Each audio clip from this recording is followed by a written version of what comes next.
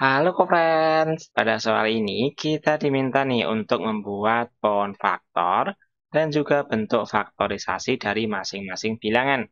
Nah, yang dimaksud adalah faktorisasi prima ya friends. Ayo kita kerjakan bersama-sama, pasti mudah. Jadi faktorisasi prima suatu bilangan itu artinya adalah perkalian beberapa bilangan faktor primanya kok friends. Nah, berarti kalian harus tahu nih, faktor prima itu adalah bilangan prima yang membagi habis bilangan tertentu. Sedangkan bilangan prima, ada yang masih ingat? Ya, adalah bilangan yang hanya habis dibagi tepat dua bilangan, yaitu satu dan dirinya sendiri. Sehingga kita akan buat dulu ya friend, pohon faktor dari masing-masing bilangannya, yaitu yang pertama adalah 15. Di sini 15 akan kita bagi ya friends dengan bilangan prima terkecil yang membagi habis 15. Nah, untuk bilangan prima itu dimulai dari 1, 2, maksudnya adalah 2, 3, 5, 7, dan seterusnya.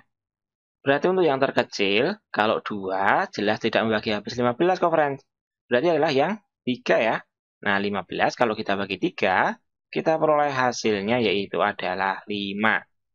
Wah, di sini 5 sudah merupakan bilangan prima kok, friends.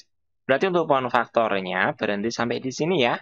Dan bisa kita tuliskan faktorisasi prima dari 15, yaitu adalah perkalian dari pembagi-pembagi primanya, yaitu adalah 3 dikali 5.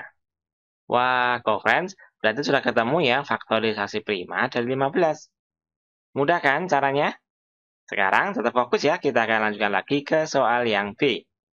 Caranya sama ya, friends. Berarti untuk pohon faktor dari 86, kita akan bagi dengan bilangan prima terkecil yang membagi habis 86. Nah, apakah 86 habis dibagi 2? Ya, jelas habis ya, friends. Yaitu kita peroleh 86 bagi 2 adalah 43. Coba sekarang kalian perhatikan. 43 ini merupakan bilangan prima ya, friends.